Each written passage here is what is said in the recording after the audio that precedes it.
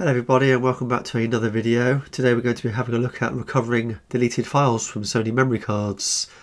Uh, the reason I'm doing this is because just recently I did actually delete one of my videos after I just recorded it to my despair, uh, which jogged a memory from years ago when I worked at the Sony Centre. I had a customer come in who had deleted all of her photographs um, and then I remembered that Sony did some software back in the day that allowed you to recover them, or at least attempt to. So I did actually manage to recover the lady's photographs, she was very happy and now here I am doing it for myself and I thought I'd make a video about it because I thought people would find that very useful. The first thing you'll need to do is to have your camera plugged into your computer using the supplied USB cable. That way the computer will see it as an external hard drive. In Windows it will be under My Computer, if you're using an Apple Mac computer it will be under Finder. If you don't have a digital camera that the card can be read from, then you'll need to get yourself an external card reader. Now some of these card readers are like a 7 in 1 scenario where you can read many many different types of cards. Experimenting myself I have found that some of the more recent card readers do not read the very early memory sticks. And there you go, once the camera's been installed by Windows it just pops up in my computer as an external hard drive. Okay, now that that's been established, let's uh, look at the software. So basically you need to have a look on uh, Google and uh, find the software. It's called Memory Card File Rescue. It will take you to the Sony site where you can download it. It's a two-part affair download. You'll download a link first.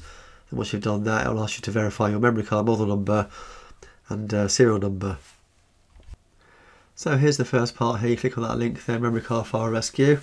Take you to the next page. That'll let you know what uh, kind of formats it will deal with and what kind of files it can rescue. Sometimes you can even recover damaged files as well. And there's the rest of the formats, it'll even do documents. And there's some of the supported products it will deal with. So once you've had a quick look at all of that to see if what you're trying to recover is there, click next. And then it gives you the file name there, so obviously exe for Windows and the file size and the file version. That's all the different operating systems it will uh, work with. Windows 8.1 to Windows 11 and Mac OS. The models are there for that. And on this example, I'm actually using a Mac computer today. And at this point here, you're going to have to put in the model number. And just below the model number is the identification number. And here are some examples of where those uh, numbers can be found. At the top there's your model number and where it's starred out below is your identification number and it shows all the different types of memory cards. I've already got it saved there in a notepad, so that's the model number of the memory card. Then you'll need to know the identification number. That's just below the model number. Again, I've got that already saved. Now I have actually tried these uh, model numbers on other memory cards and it still worked. I thought it might be specific to the card. Once you've confirmed your memory card and identified it, you've got the option of downloading the Windows version or the Mac version. As I'm using a Mac, I'm going to be downloading the Mac version. There we are, it's a pretty quick download. So just double click on that one to open that up. Oh, I clicked on this one here first, I was wrong, it's actually the um, file on the left you need. So the box on the left is the one you want, not the one on the right. And there we go, once you've selected that, just uh, agree to the user agreement. Unless of course you want to read it, who does. Click on agree and install. There we go, nice and quick.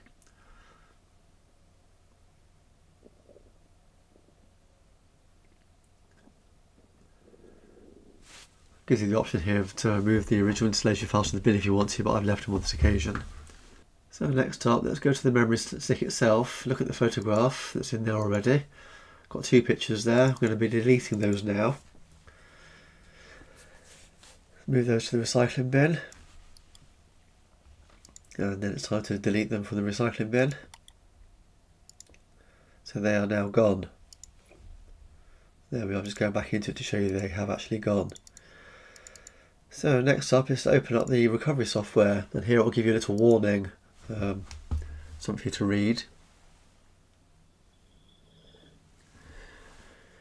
There we go, it's asking for your memory stick, I've already got it inserted using a nice small one today, 64 megabyte. Um, you can select unnecessary here if you don't have any AVC HD files to recover. That will shorten the um, search time.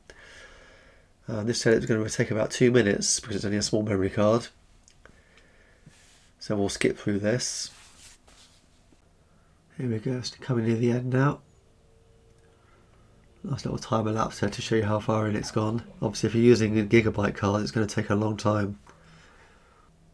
I have actually cancelled at this point before and it's still actually shown some files it's recovered because I was impatient.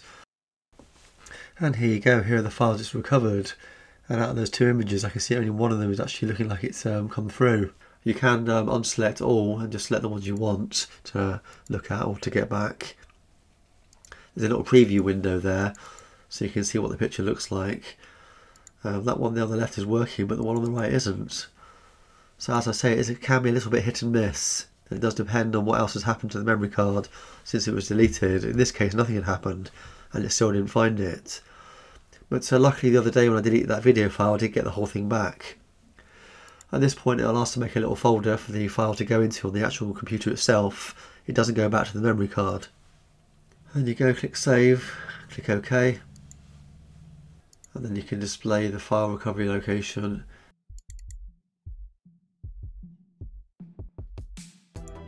there are the two images I selected, but as you can see only one of them was recovered. So all in all it's a very handy piece of software to have. Um, if you've got any files you've deleted, you may even find some that have been deleted ages ago. So there you have it, it's a very handy piece of software this, it's great that Sony still supplies it. I haven't tried it on any non-branded uh, memory cards, perhaps that's something I could do in a future video. Well I hope you enjoyed watching that with me and I hope you find it useful. If you do have any questions, leave a comment in the comments below. I'll put a link up to the uh, software itself in the description. Um, hopefully Sony will keep on supplying this for years to come. Well, I guess that just leaves me to say, as always, thanks for watching, and until next time, I'll be seeing you. And if you did enjoy watching this video, you may want to take a look at some of my other videos on similar themes. I'm always buying something on eBay, some old piece of technology and trying to repair it.